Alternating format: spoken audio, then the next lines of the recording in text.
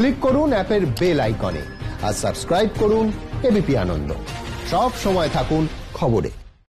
Corona মুক্ত হলেন অভিষেক বচ্চন। আজ টেস্ট রিপোর্ট নেগেটিভ আসে। টুইট অভিষেকের। প্রার্থনার জন্য সবাইকে ধন্যবাদ বললেন অভিষেক। এগারোই জুলাই থেকে ভর্তি ছিলেন নারাবতী হাসপাতালে।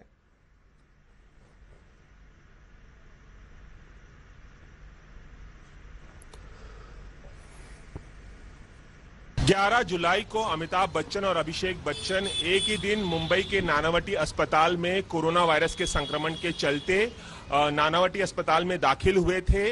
लेकिन अमिताभ बच्चन तीन तारीख को नानावटी अस्पताल से ठीक होकर इसी जलसा बंगले में लौटे थे और आज अभिषेक बच्चन कुछ ही देर पहले नानावटी अस्पताल से कोरोना वायरस को मात देकर पहुँचे हैं। साढ़े तीन बजे, तकरीबन साढ़े तीन बजे वो मुंबई के नानावटी अस्पताल से निकले और तकरीबन पौने चार बजे अभिषेक बच्चन अपनी कार से इसी जलसा बंगले में दाखिल हुए।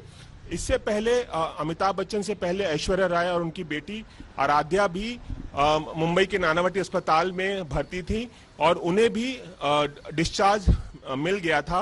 उसके बाद अमिताभ बच्चन को छुट्टी मिली और फिर आखिरकार 28-29 दिनों के बाद अभिषेक बच्चन को भी कोरोना वायरस से मुक्ति मिल गई। उन्होंने एक ट्वीट किया कि वो कोरोना वायरस से मुक्त हो चुके हैं, उनका टेस्ट नेगेटिव आया है और वो डिस्चार्ज हो चुके हैं और पौने चार बजे, ठीक पौने चार बजे अपने बंगले जलसा में अभिषेक बच्चन दाखिल हुए।